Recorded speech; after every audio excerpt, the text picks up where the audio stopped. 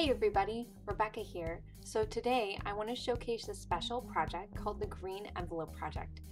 And this is something that we hope everyone can get involved with and get behind because it's a really simple thing to do. So if you yourself have Lyme or you know somebody who does, or just know the controversy surrounding it, we hope that you'll go ahead and get involved in this project. So I have the link for the PDF down below.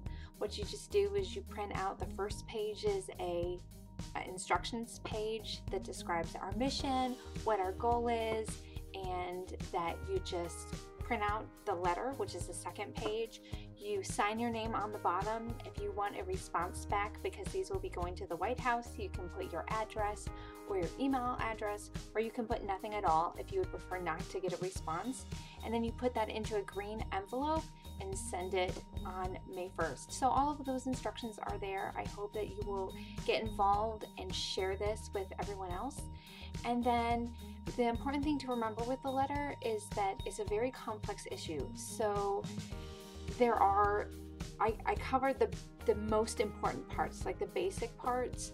I know that there are other issues that individuals may feel need to be included in the letter.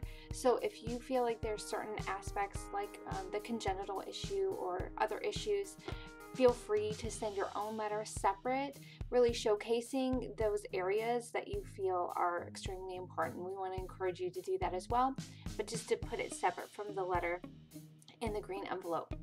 And then several of us who are involved in the Green Envelope Project are going to be joining several other Lyme sufferers on May 17th in Washington, D.C. for the Lyme March. And we're going to be meeting with uh, a congressman and just trying to really showcase some of the issues within Lyme disease.